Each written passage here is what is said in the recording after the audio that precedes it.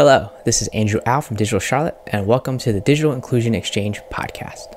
Today we'll be listening to the Di- National Digital Inclusion Alliance's, also known as the NDIA's, Net Inclusion webinar series. The National Digital Inclusion Alliance Net Inclusion Conference has been a staple in the digital inclusion community for years, bringing hundreds of practitioners, advocates, academics, internet service providers, and policymakers together to share their knowledge. With social distancing in place, the NDIA is hosting the Net Inclusion 2020 webinar series to replace the conference. This series includes eight one hour webinars recorded live from September 16th through November 4th. You can find the full schedule, recordings, and resources at digitalinclusion.org slash netinclusion 2020 webinar series. The link to this will be in the description. Today's webinar topic is local government digital equity strategies first recorded October 7th, 2020. Enjoy.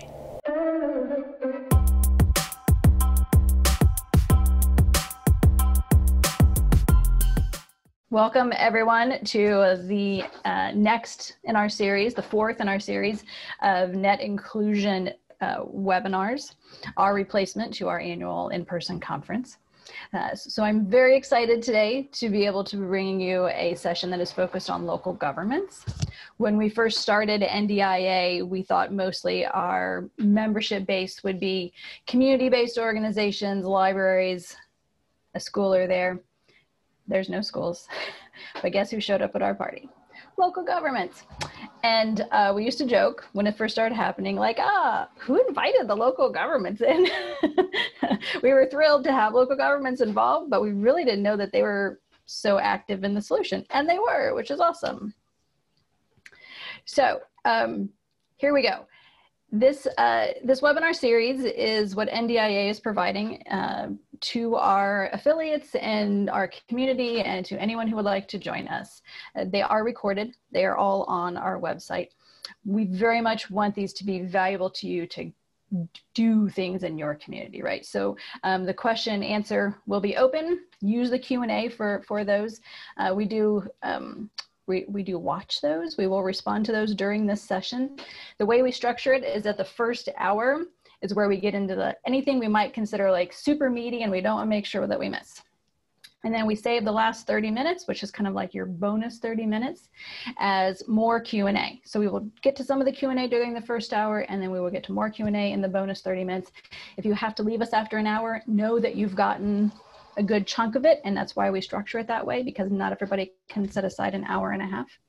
Uh, but it will be on the website as the other previous webs webinars are.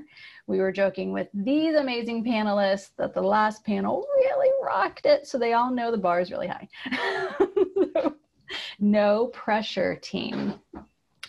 Alrighty, we're three minutes after, so I think it's solid for us to get started now. Um, I'm so pleased to introduce you to this all female rock star panel that we have today. Don't tell the men, but I love the all female panels. So we have uh, Candelaria from San Antonio. I'm just going to go around one by one and you can all be like, here's the basics of what I do. One minute. Candelaria.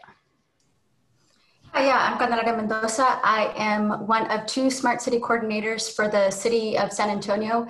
I actually um, started with uh, digital inclusion as one of my key uh, priority projects. So uh, that's one of the main things that's taking up most of my time right now. Which is amazing. Uh, Lauren, Chicago. Hello, I'm Lauren Burdette. I'm the Senior Equity Manager in Mayor Lightfoot's office in the new Office of Equity and Racial Justice. And uh, I am actually new to the digital inclusion space. Uh, the COVID uh, crisis actually sort of uh, expedited our interest. And so it has become one of my primary responsibilities, though. Excited to Fabulous. be here. And we have two Rebeccas today. I'll always be super careful to say last names. Rebecca Kauma. Thank you so much, Angela. Good morning, everyone. Greetings from Los Angeles, California. My name is Rebecca Kauma, and my pronouns are she, hers, and hers. I am the Economic and Digital Inclusion Program Manager here for the City of Long Beach, and I manage the city's economic and digital inclusion initiatives. And I'm very much passionate about racial equity and uplifting communities of color and low income communities. So I'm excited to be able to share more about what we've been working on here in Long Beach and to learn from my esteemed colleagues. Thank you. Fabulous. Thank you. Rebecca Gibbons. Hello, good morning, everybody. Rebecca Gibbons, she, her. I'm with the City of Portland, Oregon. Um, I'm the Broadband and Digital Equity Program Manager, and um, I'm primarily tasked with implementing the city's broadband and digital, uh, I'm sorry, the Digital Equity Action Plan, and uh, leading our digital inclusion network in partnership with Multnomah County and Multnomah County Library. Super, thank you. Uh, so why were these four ladies invited? One of the projects NDIA started when we realized that local governments were jumping into the solutions and were so essential to this work uh, is what we're calling, what we've been calling our Trailblazers Initiative. So on our website is a, a whole section about who the trailblazers are and the indicators we use to determine who are the local governments that are doing amazing digital inclusion work. Three of these ladies are from cities that are digital inclusion trailblazers, and Lauren is here because Chicago is just rocking it right now around digital inclusion. So we have this fabulous breadth of experience today. We're going to start with the fact that cities don't do work in vacuums.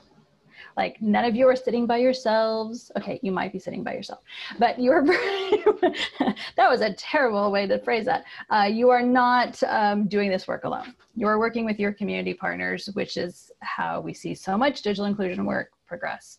Uh, so let's get into some of those examples. Uh, Rebecca Gibbons, you all, um, I think you have the oldest digital inclusion network I would say, of our four folks here. Uh, tell us about how how long has DIN been around? Uh, Portland folks really do call it DIN, which I think is delightful.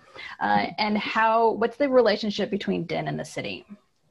Sure. Yeah. Well, well, first, the the DIN um, was really instrumental in helping us um, get our plan in place to begin with. Um, when we started down this path, uh, the city had a broadband strategic plan that identified some digital equity issues um, we also had some kind of local data sets about who was impacted by the digital uh, divide and some of the barriers they were facing. Um, but it wasn't until we convened these community conversations um, with leaders in our community. And these were, you know, from government agencies, nonprofits, schools, libraries, um, and even um, workforce development and healthcare providers um, that we really got the attention of our elected officials and started to make pro progress towards um, defining issues and developing strategies. And that started back in 2014. Um, and we were really fortunate that once uh, the adoption of the plan in 2016, that our DIN members remained involved. So they they participated in, in work group sessions and planning sessions to actually write the plan. Um, and then once it was adopted, they, they remained with us. So they, we meet monthly. Um, we have continued conversations about work we're doing under the plan. We use the plan as a framework for the strategies that we're imp implementing. And, you know, they use those DIN meetings that we have monthly to um, come together, meet new people, find out what's happening in the community. Um, it's really great to see the collaborations and the, the ideas happening at the DIN meetings, but they often go off on their own afterwards and have these detailed conversations and get projects off the ground. And then they come back to the DIN meetings to report out. Um, so it's been really essential that we have that time and place to come together.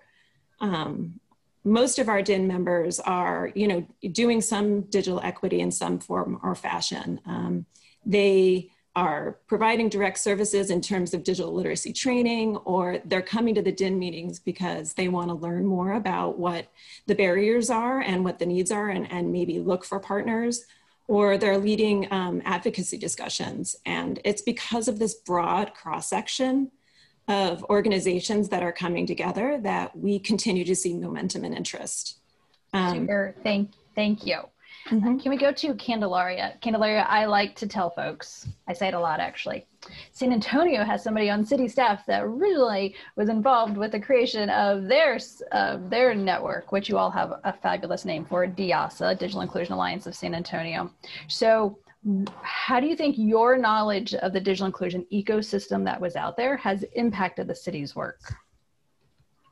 Yeah, I think it was actually very instrumental. Um, we definitely give a lot of credit to uh, the Digital Inclusion Alliance of San Antonio for socializing the issue. Um, I mean, just to think about Rebecca and having their plan, we're hoping to get there one day, but um, a lot of it was just about engaging the community, our leadership, letting them know about the digital divide. What does it mean? How does it impact them? And so, kind of being involved in that conversation expanded my knowledge, and I was able to kind of bring that into um, the Smart City partnership in, in the Office of Innovation at the City of San Antonio. Uh, we very much believe that in order for us to be a smart city, we need to be tackling the digital divide. We can't be a smart city if 20% of our population doesn't have um, access to the internet from their home. So uh, that's just at a top priority for us. I can't tell you how exciting it is to hear someone in a local government say that and actually be following it up with action right? Too often we hear, "Oh, yes, it's important for everybody to have to have access." when they're talking about smart cities, but then they don't actually do anything with it. And San Antonio is. Uh, tell me about how you think um, your established digital inclusion ecosystem in San Antonio has aided your work both before and during COVID.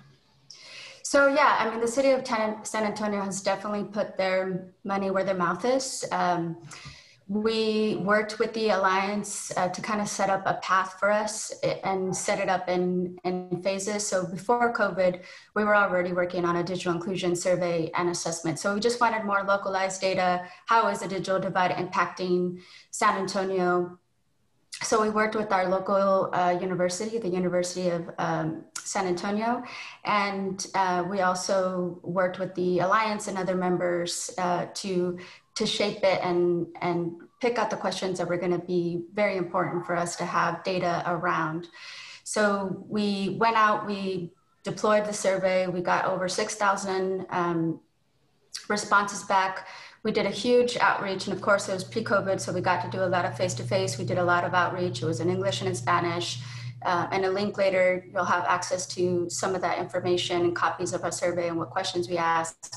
So we did all that before covid hit. Uh, we wrapped it up around february and then utsa was able to pull it together and create an assessment um, to really capture that map of who is and isn't connected to the internet. And of course um, as our theories uh, had it, uh, education, income, and all of that had a had a play on it. So we were able to capture that information and actually use it. And I think it definitely uh, gave us an advantage because during COVID, as council was trying to decide where should we put these CARES Act dollars, we were able to submit a $27 million proposal around supporting digital inclusion for students to kind of help with that distance learning, that homework gap, and it got approved. So uh, we are now in the in the thick of working with the school districts, working with our partners, um, trying to figure out what all that puzzle piece looks like to make sure that we're doing research, uh, that it's a good customer experience, that we're meeting bandwidth needs.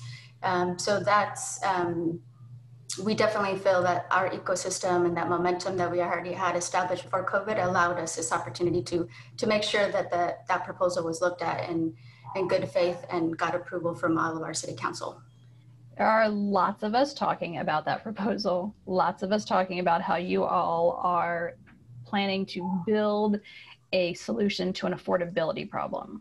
We used to think of building broadband to address lack of availability, but you and we're seeing other communities also building in order to address the affordability gap. That's more of a long term play. What we're seeing in Chicago is more short term solution now. Um, so, sh- Lauren, let's dig into what Chicago's doing. Uh, NDIA has been fascinated and thrilled with um, the process that you all have developed. Uh, we were particularly humbled to learn that our digital inclusion startup manual was referenced and considered when the money was allocated for community-based organizations. Uh, so tell us about the role that those community-based organizations are playing in your um, sponsored agreement agreements initiatives? Yeah, so um, I mean, I think similar to Candelaria and Rebecca, we uh, partnership has been sort of core to Chicago Connected from the beginning. The entire idea um, for the program came from parents, CPS parents, our public school parents who um, indicated internet as an essential need uh, in their communities, and a report that was published by Kids First Chicago showing that one in five kids in Chicago lack access to the internet, and that that gap widens when you look at some of our most underinvested neighborhoods like Austin and West Englewood. So, you know, I think that um, access, even though you're in a large urban city, is is a huge gap still. So we um, purposely designed the program, uh, which is four years, $50 million initiative to provide 100,000 Chicago public school kids uh, and their families uh, with internet access. And uh, it's only made possible by our really generous funders and our $5 million in, of CARES Act money. Um, and the last two years are paid for by the public school system. But we are, um, you can see sort of through this that like the 35 community based organizations are really key to sort of establishing trust. So they were part of the design from the beginning. There's a selection process. So there's an applica- open application for community groups to apply to be part of the program. Community groups have two primary responsibilities. One is doing outreach and sort of proving to families this is a a real thing. This isn't too good to be true, uh, which is actually a huge barrier we faced. A lot of families get the code in the mail, they hear about it, and they're like, yeah, there's probably some secret charge that we aren't being told about. And so CBOs have been essential to getting families to know that it's real and sign up. And then the second responsibility they have is the digital literacy training. And so, you know, I think NDIA helped us understand that the digital literacy skills and um, support for the adults in the household are as important as the actual connection itself. And so um, they've been really key to that. And that part of the program is, is gearing up now. Um, the other thing that is kind of exciting, we're, we're starting a partnership with our city colleges system to think about what are some other ways to help the adults in the household kind of capitalize on those digital literacy skills they'll be gaining uh, to help them in the workplace. Super. Thank you, Lauren the involvement of the community in the solutions and in defining what it, the problems are. Uh, Rebecca, Kauma, you have like been at the forefront of we have to hear from the community. So tell us um, first, if you would define for us collective impact approach, and then let's talk about what that means when you know functionally. Sure. Thank you so much, Angela. Um, when I first heard about the collective impact approach, I actually heard about it first from a colleague. So it was my colleague that worked in the health department, and they were using that approach to be able to advance um, different strategies for older adults, and I was very much blown away by it. But for those of you guys who are not familiar with collective impact, it is an approach for us to be able to collaborate across different sectors and to be able to work together and solve a problem. And the re- reason why I really like collective impact is first and foremost, it shares the act of responsibility on everyone. So I would say oftentimes when we're looking at the digital divide, people may say, oh, it's the responsibility of local government, of libraries, of different organizations, but we see collective impact as an opportunity for us to be able to come together collectively to be able to solve an issue. And collective impact also uplifts a lot of different principles that are very key to the work that we do here. So it does put a priority on equity, so the effort intentionally um, focuses on addressing systemic and institutional barriers that are creating the different digital inequities, and also ensuring that we're including community members as part of our effort as well. So those who have been disproportionately affected by the digital divide have a seat at the decision-making table. So for us here in Long Beach, we have been applying that effort to our work so as part of our digital inclusion stakeholder committee, we are convening a committee and these committees consist of different organizations. So everything from members of the community to also our public libraries, to city departments, to private technology companies, community-based organizations, educational institutions, ISPs, and we're all coming together to be able to help advance digital equity and inclusion and one of the things that we were trying to be very intentional about with our collective impact approach is ensuring that we have community representation. So for us, we worked closely with our community-based organizations to identify a community representative who can provide us with that unique perspective and also share their lived experiences. And we also compensated them for um, their time. So ensuring that we're uplifting the voices of community members who are most affected by the digital divide is very much a priority for us. That's awesome. Thank you. Rebecca Gibbons, we are seeing right now this incredible interest by folks who've never done digital inclusion work to be like, I'll help, I'll help, let me do something to work on this, uh, which we all appreciate, of course. Uh, but when that has happened in Portland, how have you all responded to that? Yeah, we, you know, before uh, COVID, it was our DIN members who were bringing those messages to the community and to council. Um, Post COVID, you know, we're hearing a lot of, of stories from residents themselves, kind of like what Rebecca was saying. Um, we follow that collective impact model and we look to engage our communities. And um, what, when we were trying to get those voices to the table pre COVID, you know, we were having to bring them those voices are out there now. You, are hearing those voices from the thousands of students who are not, you know, connected and, and going to school. Um, you're hearing about seniors and people with disabilities and those facing isolation who um, aren't getting healthcare or important public safety information. So a lot of that, um, those stories are kind of driving that conversation. And so we've had a lot of interest from folks kind of you know our public safety folks who and our covid response um, emergency response teams are, are coming to us and saying hey we're hearing directly from residents you know how services are not getting delivered. Um, so we're doing um, a lot about uh, having conversations and working with folks to educate them about what we've been doing in the past the resources that we have um, some of the needs we have some of the best practices. Um, and, and while we have like a really rich um, community support for the issue, I think one of the things that we've seen kind of um, in addition to the increase of interest is an acknowledgement about the lack of funding that we've had in the past around doing this work. Um, and, and because of COVID, we've seen an increase in that. We've, we've adjusted and used a little bit of our, our uh, city budget to address that initially. We had a small corporate donation, and now we have CARES Act funds. Oh, Angela, you're muted. Ah, you see, even though I do this constantly. Uh, Rebecca Kauma, you have an incredible in-depth understanding of what it means to be inclusive and how we reach for true digital equity.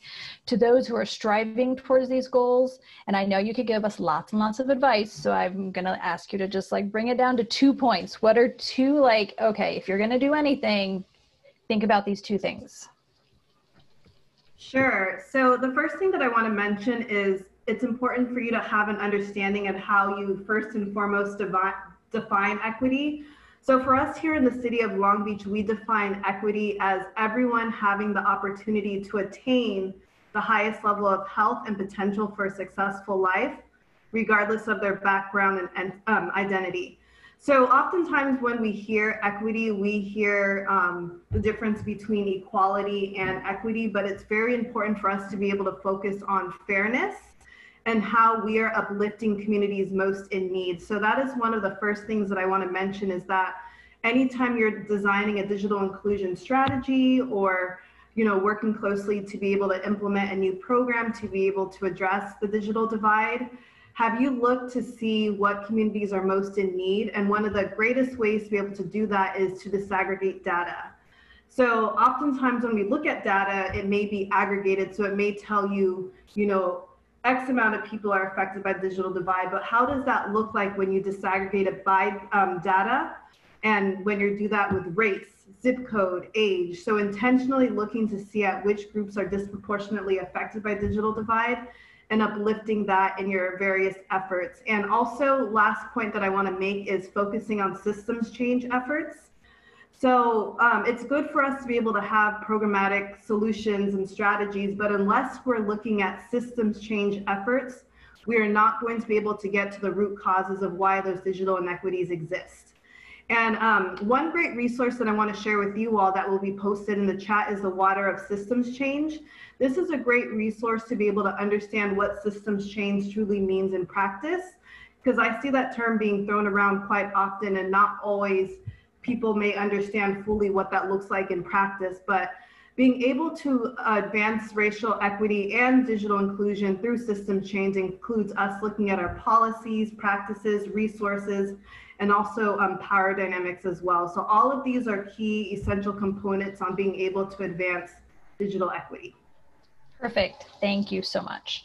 Uh, Candelaria, City of San Antonio has established an Office of Equity. How have they been involved in your work? So similar to Rebecca's point, um, we've definitely have spent some time kind of socializing how equity works within city government. Um, again, to her point of moving from equality to fairness. So city council kind of took it on as a, a kind of phases and that we, um, they used it first for the capital improvements project of you know, we already know that there's some sidewalks or some parts of the city that need more attention to sidewalks and streets. So they started giving uh, that piece of, of equity to kind of bring them up to speed with other parts of the city. And then we, we brought that uh, same conversation to the budget. So we've been incorporating conversations of equity to the budget conversation these last three years now. And so um, now the office has been pretty good, pretty well established, and we've been working very closely with them to have conversations with them about how we incorporate um, equity in our projects when it comes to the digital divide. Um, one of the main things that we did was use it for when we were doing our uh, proposal for the city around the $27 million connected beyond the classroom. We were able to use, and I believe there'll be a link um, for y'all to see it, but we have the city uh, pulled together through the office equity atlas maps so again, it kind of pulls to that where do you need the most resources? Where are the people that are most disconnected? And we kind of overlaid that information with the findings of our survey to be able to identify the 50 priority neighborhoods that we're working with within our project. So again, we wanted to make sure that council understood why we were going to be working in certain areas of town before we got to their district. Again, this is not a each of your districts get this much or this much or this much it was definitely going to be of we're going to start where the people are most disconnected and then move beyond that and expand it if we can. So one of the other pieces that we did to keep the conversation around equity is create digital inclusion report cards that are also going to be included in that link with the report.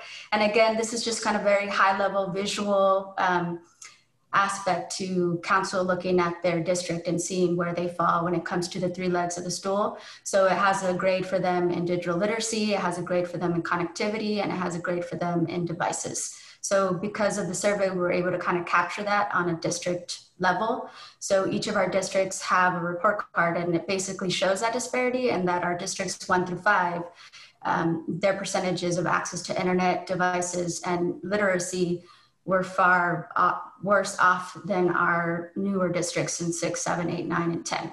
So again, very high level way for them to see something easy grades, right? We all understand when we're, when we're passing or failing. Um, so they get to see if they're getting an A, we're probably not gonna spend resources on you right now. If you're getting a C or D, then that's where we're gonna go first.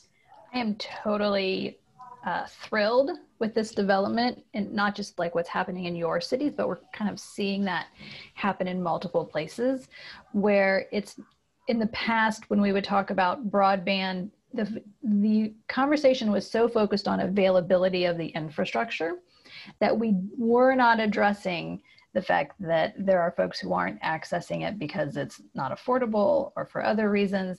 And so because we were only focusing on availability, there were no equity discussions in that. That's that's right. It was that was more um, build it, then it's up to them if they want to participate or not. If it's too expensive, eh. Right. That's like we are and those of us who've been in this field have been talking about that, have been thinking, thinking about that. But the change right now is that we're seeing that more widespread. It's not just a few of us talking like that, right? And the fact that you all are getting the support that you are within your cities to to think of it through the, the equity lens is so incredibly exciting, right? Um, I know there's a lot of work and we will make sure to temper any of my excitement, but I do feel like we're on a really solid path that we haven't been on before. So let me go to Rebecca Gibbons to talk about Portland. So you all adopted a racial equity goal back in 2015. And we know that that goal and the work towards that goal has affected your digital equity work. So tell us how that works. Yeah, having some digital equity or having some racial equity goals at the city level really helped us understand how our strategies and our focus around broadband access for all really needed to prioritize you know our services and solutions by centering our communities of color.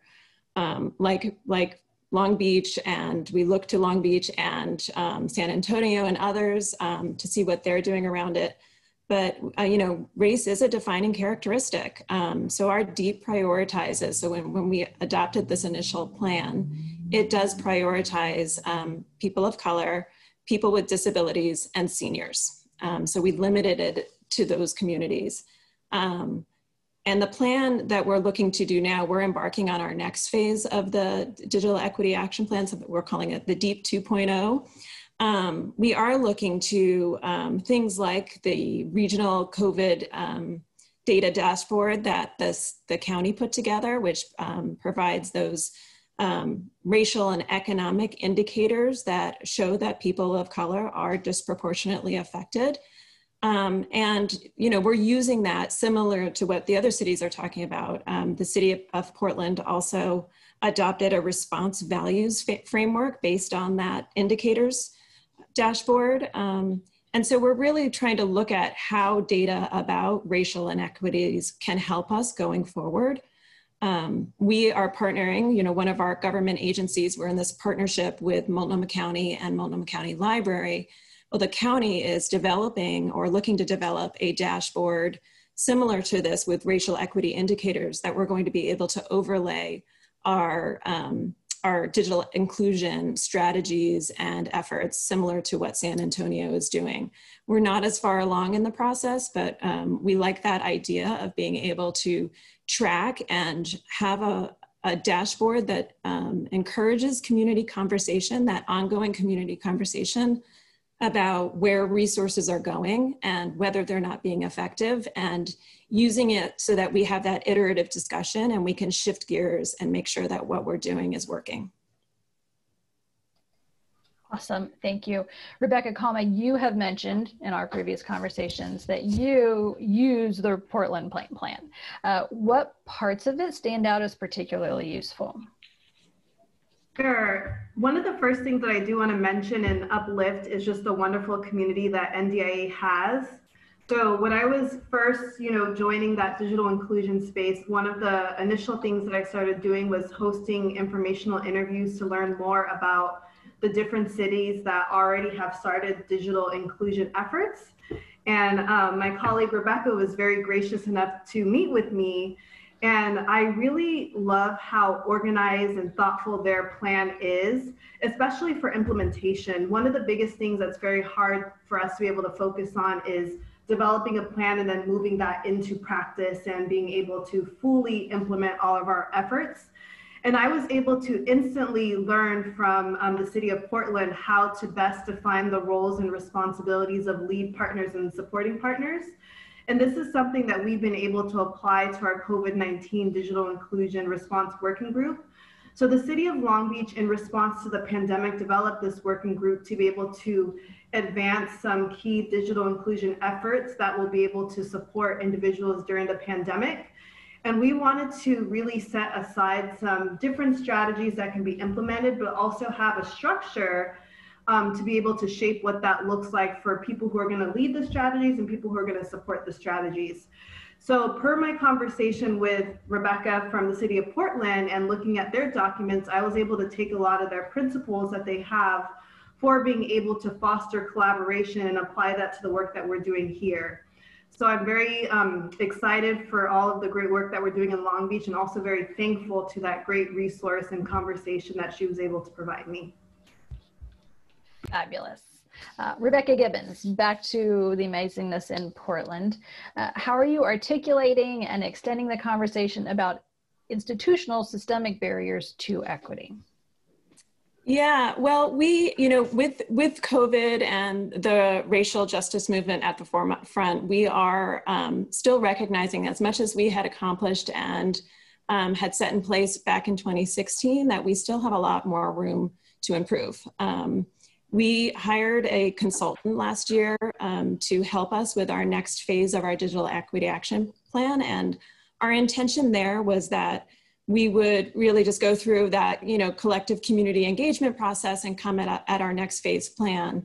Um, what we've realized now, because of these community conversations that are happening and the social distancing um, and the elevated awareness, is that we really need to take a step back. And so Um, I would say that I'm learning just as much from Rebecca in Long Beach um, as she might have learned from me in the past about where to go going forward.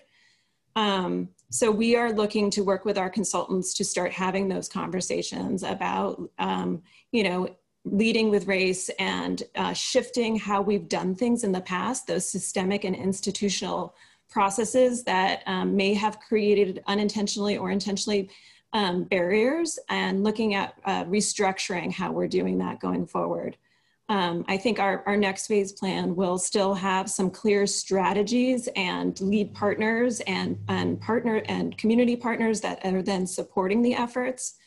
But we're also looking to um, shift and reprioritize how we're how we're leading our digital inclusion network. We th- see that as one area where we can start to really um, share leadership and bring that community conversation back to the table. So we're looking at ways, and Rebecca's been really helpful in this area for me too, about um, you know if we if we maintain that professional network, which is really still important to our community, how else can we put in place um, a structure that really brings the voices of our community communities of color to the table so they're leading those conversations? Fabulous, thank you. Lauren, let's go to you. Um, so we know that when the city of Chicago put together the racial equity rapid response team, that broadband came up. So tell us, how were those priorities identified and what did they find?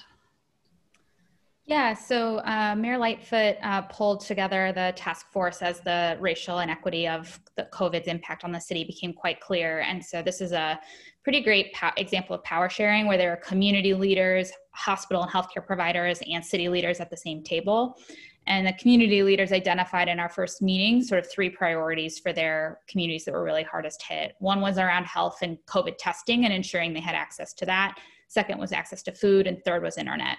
And I think that the fact that community leaders are prioritizing internet tells you um, sort of the extent of the importance of this um, in in communities across the city. And so, you know, one of the things that it's it's actually what led us on this sort of journey of uh, getting Chicago connected up and running.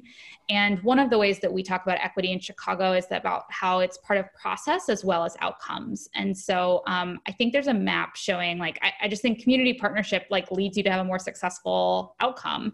Um, so I think Sabrina, there's the graph showing our CBO um, impact.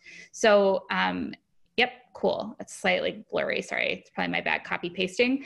But you can see sort of um, on the x-axis that's dates of signups. So these are, um, you can see over time we've seen exponential growth in the number of families signing up for Chicago Connected those rates increased when CBOs started calling. So when we actually were incorporating community leaders into the process, we saw better results for everyone. And I think that's sort of the biggest takeaway here. And what the city and, and the mayor in particular are trying to do is the more access that you give people to data and the more they have access to internet to actually use that data to inform decision making, the more effective our outcomes are going to be. We also have a COVID dashboard that I think will be um, either shown or, or, put in the chat um, that was also an ask of community, sort of like how do we help um, sort of drive our own decision making. And they really wanted to know not just the citywide rate of COVID in um, the African American, Hispanic, et cetera communities, but wanted to know by their zip code. And so we developed this uh, dashboard for them to use, and community leaders use it weekly to drive their own sort of efforts in terms of direct community outreach. Um, obviously, they would not be able to do that if they did not have internet access themselves. Um, and so I think that like this marriage of open data and sharing that data in a transformative way paired with internet access is something how, that will really accelerate our progress as a city. That is fabulous. Thank you. Lauren, I understand a new hire um, is is being discussed is possibly in the works uh, but you all have a budget gap like every city does right now right? So how is this possible yeah, actually, I think he's part of the audience. Casey Baxley, we just hired him last week. We're super excited. Uh, and next year, hopefully, he will be here. Uh, and Chicago will be a trailblazer. We've got a to do list. That's awesome. Um, I love that a lot. um, and yeah, you know, we have a, a $1.2 billion gap as a city. Chicago's had some pretty irresponsible spending in the past. And uh, that's where our partnerships come back in, sort of to bring it full circle. Um, our funders have been um, really helpful and, you know, would not, this would not be possible without them. And so from the beginning, when we were raising money for Chicago Connected, we purposely built in a position to help us build a strategic plan like Rebecca um, in Gibbons in Portland has, and to help us think about how to do a community engagement uh, plan uh, with the whole city with for internet access uh, across the across the board. So um, super thankful to our um, funders for that. It would not be possible otherwise. Yeah, that is super exciting, and hopefully we see that in some more places also. Uh, we are getting some uh, questions in the chat from other local governments that want to talk to you all. So uh, we should let everybody know NDIA is a community where folks talk to each other pretty regularly. So if we have folks who are joining us for this webinar but aren't already in the community, uh, one of my staff will throw in the join link and we welcome you to join us. It's free uh, to engage in the conversation on the listserv. Uh, the Trailblazers page that we already have posted. Uh, the, the, a link was provided for that. There's also contact information for some of these amazing folks with us here today. And additionally, we have our Friday afternoon calls. All these ladies have been on the Friday afternoon calls, have been sharing. Uh, so that's another place to connect with folks in the chat one-on-one uh, to make sure that you can keep up keep up with them. NDIA is of course always happy to continue, you know, to talk specifically to cities one-on-one. Okay, we're gonna get to some questions. We have a question from Bert from Connecticut, wants to know how much, if any, support are you getting from your respective state governments? And what is the nature of that support? Anybody interested in answering that? Candelaria, you're up.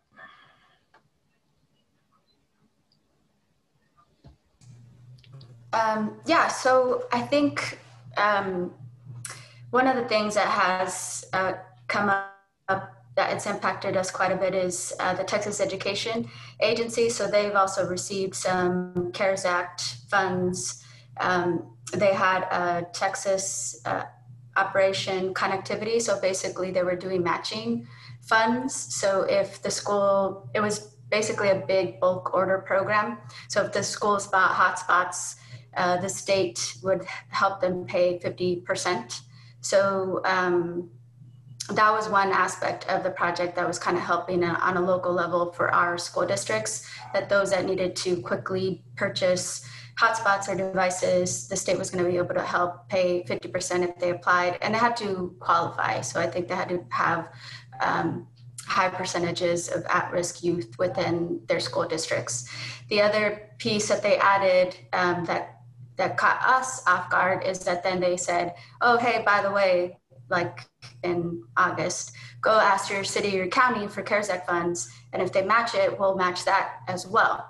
So then we got a bunch of letters from all of our school districts asking us for money when the city had already uh, allocated all of its CARES Act funds. So that definitely threw us off for a loop. We're still actually working through that because we were able to pull and swap some funds around. Uh, talking to our leadership and everything because of course we want to help our school districts they caught off guard with they got caught off guard with covid as well um, and distance learning and all of that stuff um, so we are going to support them with some funds, and the county also stepped up to support them with some funds. Um, but yeah, it's added a lot of extra work for us to navigate that process and make sure that they have all the paperwork. But um, that has been kind of the the level of, of support that we've that we've received so far to that focus of schools. And my perception is that that's pretty common. Or is there any? Do any of you have anything that's different from education departments allocating CARES Act that's I think that's pretty much how it's been going. Although there's supposed to be new information coming out of the state of Illinois about digital equity, I believe next week. So I'll just leave you all hanging about that. Rebecca Kauma, did you want to uh, share anything? Sure. I did want to mention that the state of California is in the process of developing a state broadband action plan. So that's something that is new to the digital inclusion space. And this was um, initially brought forth through an executive order by Governor Gavin Newsom. So this is very exciting. And right now, um, there are different organizations that are convening listening sessions and are asking for feedback from various community-based organizations, community members, stakeholders. So Um, I have participated in those listening sessions and have mentioned um, some of the great resources needed to advance the work that we're doing here at Long Beach and also in local government um, alone. So I'm looking forward to seeing um, once this plan has been developed and how it can support us at a local standpoint. But that's something that's very exciting. And I know um, other cities here in California are also going to be engaged in providing their input as well. Super, thank you. We have two questions in the chat about internet service providers. So let's talk about um, cities, and I know you all have like comms people who won't let you say everything you might want to say. So like we'll keep this all very clean. Uh, but the city's official relationships with internet service providers. I, Lauren? Yeah, I can talk about. So for Chicago Connected, um, we actually have a fiscal agent, United Way, who has the formal contract with the uh, internet service providers. And we have three so Comcast, RCN, and T Mobile uh, for the hotspots uh, is the latter. And um, I think that uh, it's you know we we've we've had a pretty open relationship with all three of them in talking about sort of problems that are rising up. We've got sort of a, a lot of communication streams coming in from families from cbos et cetera of like common problems. And so we've been partnering particularly with comcast who has the lion's share of our um, our uh, services uh, to to troubleshoot those so my my perception is that in the past where communities may have been shy to be as open about conversations and to have those clear conversations with internet service providers that is happening more now than previously because of the very public pressure to solve the problem. Rebecca gibbons can you jump in on that Sure. Yeah. I mean, we the a lot of the uh, ISPs have been participants and members of our digital inclusion network, so they've been at at our table for a long time, and they've been really great about coming to those conversations to share um, information and answer questions about the products and services they have. Um, but it doesn't really go beyond that um, in our community um, because of COVID and CARES Act funding and things like that, we have entered into a Comcast Internet Essentials Sponsored Services Agreement. So we are providing that connectivity for some residents. Um, and we, we are definitely having more of those conversations with our wireless providers too now. And they are more direct conversations. Super. So, in particular, one of the questions asked uh, had to do with ISPs involved in the strategic planning. So, that is different, right, than having an ISP at the table to talk about solutions. But when you're creating the plan itself, what is an appropriate role for an ISP? Yeah, I can, you know, in the past, our conversations with our ISPs have really been um, related to their more formalized service agreements, their franchise agreements, um, and those conversations are happening at that level. I definitely see a trend and an interest to be having more, you know, cross-sectional conversations that link in our digital equity work and other benefits and community conversations. Um, we, similar to what San Antonio um, did, we recently wrapped up a broad communications technology ascertainment. Um, so we're using that data um, to have some of those for going forward conversations. Super, thank you.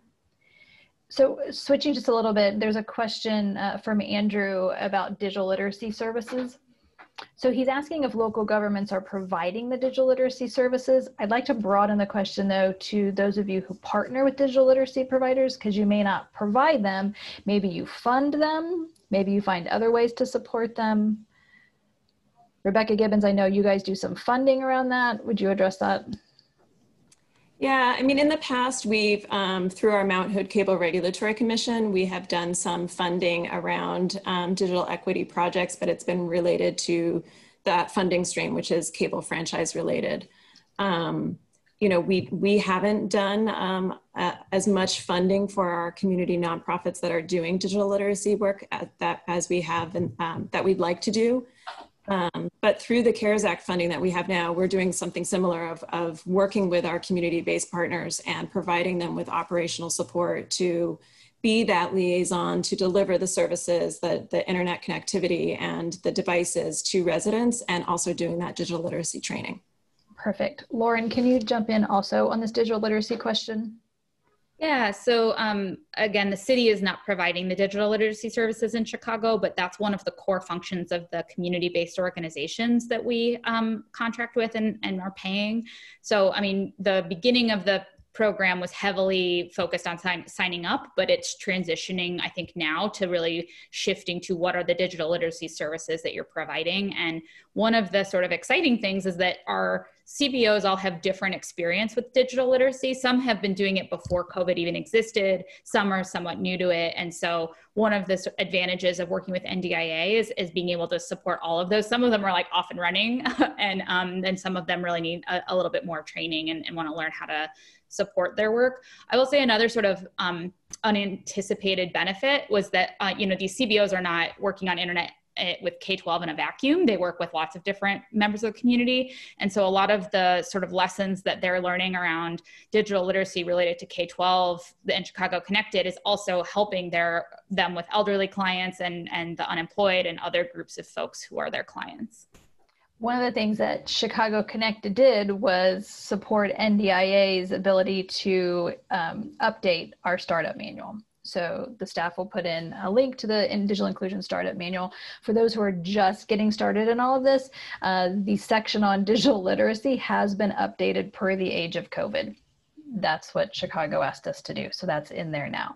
Uh, so figuring out how to do it as an organization, how to do it as a go- government, right? It, it's really a matter of getting to the people who need the help and that's why a lot of you'll as you're hearing that these local governments partner with community-based organizations who already have relationships in those places there's also a question in the chat about donating to digital inclusion efforts uh, in so they're specifically asking about texas Candelaria, you can respond. I'm not aware of any statewide fund in any state, actually. No, there's rumors that there might be the creation of a digital okay. inclusion fund, but whether the, it actually is going to receive any dollars is still um, to be determined. So yeah, I don't okay. um, kind of on a statewide level. Uh, not that I know of. It tends to be more local, right? Yes. The mm-hmm. creation of funds tends to be local, and and if there's a fund, then it is local. We are seeing that more with foundations developing a fund, that it's a community wide kind of effort. The foundation develops a fund, they manage the fund, and then decision making about how the funds are used is through community wide efforts. Um, other questions that we have here. Um, the Digital Equity Atlas is uh, getting a lot of popular attention. Uh, so that and other tools playbooks, suggestions for how to create something that on their own? Yeah, I mean, I think if anything, we really have tried um, to create items that can be tangible and reused. And I think the Office of Equity spent quite a bit of time uh, creating that map so that departments can make decisions um, in the way that they do their programming and the communities that they're serving um, so, if anything, COVID has just kind of um, excelled the attention around the conversation and given us tools that we can easily go to without having to start from scratch. So, I mean, we're excited that that we have an office. They just added a few more members to the team, which is great because it was it used to be an office of one. Um, so, and I believe now it's an office of like seven. Um, but yeah, the Equity Atlas maps, I think it just helps guide conversations and it's an easy thing that if you have a GIS team in your city departments, um, you can use that to overlay other data points and informations too. It's just a good uh, starting point. So we've definitely used that uh, a few times in our in our projects. And in terms of mapping, so you all have folks within the city who's doing your mapping. For those who don't have mapping experts, smaller local government, or maybe you're not a local government and you just want to create some cool maps, um, partnering with universities, partnering with higher ed, um, partnering with research institutions, uh, or just finding folks who can figure out how to do it. There's also um, a fabulous tool, Internet is Infrastructure, uh, which we'll put a link in the chat where folks can create a map themselves. It takes no special skills because a fabulous volunteer, Bob Balance, just put the website together because he's a really good person. So for those who need just to like get a map, that's a way to do it. I think we have one last question about lifelong learner engagement. Um, success stories about, let's see. I'm not exactly sure what the question is. Lifelong learner engagement. Does anyone want to? I I can talk a little bit. Um, we that's not really what we had called it here. Our libraries did have a um, a sort of digital navigator position. Um, I am not totally sure how it's evolving under COVID and they had done a lot of partnerships with um, some of our older adult uh, nonprofits and, and folks. We also have our, our housing authority, which has a lot of members who are seniors, um, have also a lot of work that they're doing there. I would say, I mean, we don't really have a strategic plan anyway around digital equity yet, but um, that isn't something that's necessarily been like folded into the, the overall plan yet in Chicago. Super, thank you, Lauren. Yeah, the on on our end um, too, just on the same lines of lifelong learning, the library um, is providing a lot of that. Obviously, they're learning too how to do some of the services during a time of COVID, but they're phasing in, they're opening, um, they're allowing people to do uh, pickups. Um, so a lot of it is also a little bit of a learning curve on how you do it in a space um, to make sure that it's safe for both staff and customers to come in and, and use the services of the libraries. Um, but we have amazing organizations within San Antonio that have also learned how to provide some of the services. Not that we're meeting all the needs that we need to, because face to face, you just can't beat that. Um, but there's definitely some evolution and innovation and being able to offer um, some form of assistance in a virtual space. Super, thank you. We have just a little bit more time left. If anybody has additional questions, put those in the Q&A for us, please. Uh, last questions that I have, last question I have for our panelists is, right now, there's a lot of pressure to figure this out right? Um, this is uh, the um, kind of sad joke I tell is that I've never been so popular, but I'm kind of doing the same thing I was before. So um, the, there's this personal pressure we put on ourselves to work harder, work longer, we can help more people. How do you personally how do you personally deal with that? Anyone up for answering that question? Okay, Candelaria. One day at a time. One day at a time. no, yeah, I mean, um, we definitely have felt the pressure we've had. Um, we're definitely the cool kid on the block when it comes to um, digital inclusion and then the project. You know, everybody, of course, wants to get behind supporting kids and and providing that support for um, distance learning and and the homework app.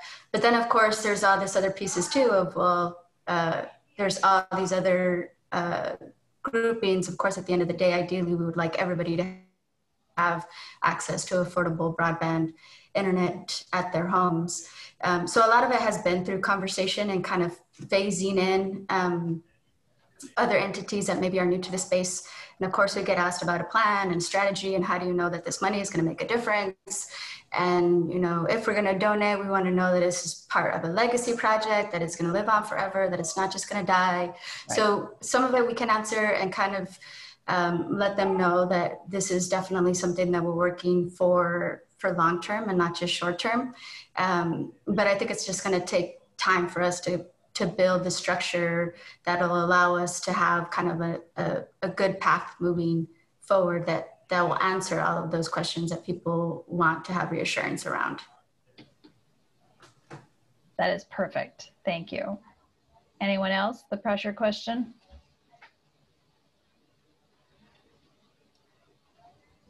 Okay, I won't pressure you to answer the pressure question. uh, we actually have a fabulous comment in the chat, which I'm going to read because I appreciate it so much. Uh, Lee Williams says, I pray that you all don't feel like you're on an island and are getting the support you deserve. As a man, I know how some of us can behave, especially in the political realm. Sometimes we don't let the substantive support, we don't lend the substantive support we should. Cheers to all of you.